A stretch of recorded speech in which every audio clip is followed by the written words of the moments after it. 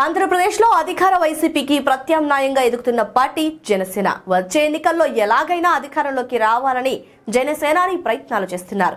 ఈ మేరకు ఇప్పటికే బీజేపీతో కలిసి ప్రభుత్వ వైఫల్యాలను ఎండగడుతున్నారు. ప్రజా సమస్యలపై పోరాటం చేస్తున్నారు. బీజేపీ కూడా పవన్కి పూర్తిగా మద్దతుగా నిలుస్తోంది. ఎన్నికలకు మరో ఏడాదికి పైగా సమయం ఉన్నందున ఈ క్రమంలో పవన్ సహకారంతో ఏపీలో తాము కూడా బలపడాలని కమలనాథులు భావిస్తున్నారు. ఇందుకు పవన్ ఇమేజ్ కలిసొస్తుందని లెక్కలేస్తున్నారు. ఈ క్రమంలో పవన్కి కేంద్రంలో మంత్రి పదవి ఇవ్వడం ద్వారా ఎన్నికల నాటికి జనంలోకి మరింత దూకుడుగా వెళ్ళాలని బీజేపీ అధిష్టానం యోచిస్తున్నట్లుగా సమాచారం.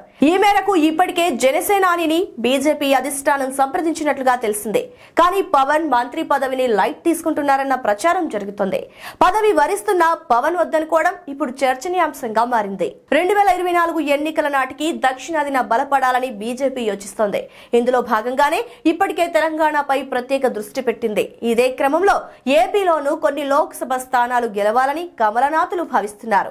ఈ క్రమంలో మిత్రపక్షాలను కలుపుకుపోవాలని మోదీ ఆలోచిస్తున్నట్లుగా సమాచారం. ఈ మేరకు మంత్రివర్గంలో మార్పులు చేర్పులు చేయాలని భావిస్తున్నట్లుగా తెలుస్తోంది. ఈ కారణంగానే ఏపీలో మిత్రపక్షమైన జనసేనానికి ఈసారి మంత్రివర్గ విస్తరణలో పదవి ఇవ్వాలని భావిస్తున్నట్లు ప్రచారం జరుగుతోంది. ఆంధ్రప్రదేశ్ నుంచి బీజేపీ ఎంపీ జీవీఎల్ నరసింహారావును మంత్రివర్గంలోకి తీసుకోవాలనుకున్న మిత్రపక్షానికి ప్రాధాన్యత ఇవ్వాలన్న ఆలోచన చేస్తున్నట్లుగా తెలుస్తోంది. నరసింహారావు లోపాయికారిగా వైఎస్ఆర్ సిపికి అనుకూలంగా వ్యవహరిస్తుంటారు అనే విమర్శలున్నాయి. ఇది కూడా పవన్ను కేంద్ర కేబినెట్లోకి తీసుకోవడానికి కారణమని తెలుస్తుంది. మరోవైపు పవన్ కళ్యాణ్కి కేంద్ర మంత్రి పదవి ఇవ్వడానికి ఆర్ఎస్ఎస్లో ప్రముఖుడైన బిఎల్ సంతోష్ ప్రయత్నిస్తున్నారని సమాచారం. మోదేశాలకు నచ్చని కొందరికి కూడా గతంలో సంతోష్ కారణంగా మంత్రి పదవులు వరించాయని సమాచారం. ఏపీలో బీజేపీ జనసేన పొత్తుకి కూడా సంతోషే కారణమని చెప్తారు.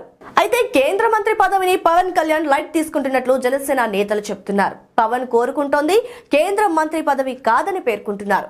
ఆంధ్రప్రదేశ్ను వైసీపీ మక్త రాష్ట్రంగా చేసి ముఖ్యమంత్రి కావడమే లక్ష్యంగా జనసేనాని దూసుకుపోతున్నట్లుగా సమాచారం. ఇందుకు ఆయన బీజేపీ నుంచి కోరుకుంటోంది కేంద్ర ప్రభుత్వం వైసీపీ ప్రభుత్వానికి ఎలాంటి సహకారం ఇవ్వొద్దని. బీజేపీ జనసేన పొత్తు సమయంలో కూడా ఇదే విషయాన్ని పవన్ బీజేపీ పెద్దలకి చెప్పారు. దీనికి ఆ పార్టీ అధిష్టానం కూడా అంగీకరించింది. అయితే కొన్ని కారణాలతో ఇటీవల బీజేపీ పెద్దలు వైసీపీకి అనుకూలంగా వ్యవహరిస్తున్నారు. దీంతో ఆ మధ్య జనసేనాని కూడా బీజేపీ వ్యతిరేక వ్యాఖ్యలు చేశారు. ఢిల్లీ బీజేపీ పెద్దలు కొందరు జగన్ బెయిల్ రద్దు కాకుండా సహకరిస్తున్నారని జనసేనానికి సమాచారం అందింది. దీంతో ఆయన బీజేపీపై కొంత కినుక వహించారు. ఈ క్రమంలో ఆంధ్రప్రదేశ్లో మిత్రపక్షాన్ని కలుపుకుని పోవాలని తాజాగా కమలం నేతలు భావిస్తున్నారు. ఈ క్రమంలోనే పవన్కి కేంద్ర మంత్రి పదవి ఆఫర్ ఇచ్చినట్లుగా తెలుస్తోంది. కేంద్రంలో మంత్రి పదవి తీసుకుంటే జనసేన పార్టీని ఎన్నికల నాటికి సిద్ధం చేయడం సాధ్యం కాదని పవన్ భావిస్తున్నట్టు పార్టీ నేతలు చెప్తున్నారు.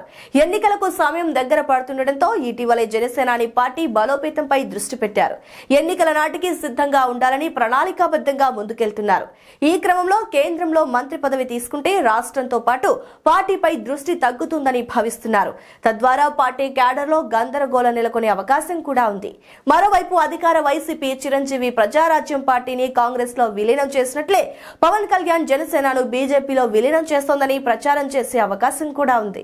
ఆంధ్రప్రదేశ్లో అధికార పార్టీ బలహీనపడుతున్న ప్రస్తుత తరుణంలో ఆ పార్టీకి జనసేనను విమర్శించే అవకాశం గాని తప్పుడు ప్రచారం చేసే ఛాన్స్ కానీ ఇవ్వొద్దని పవన్ భావిస్తున్నారు.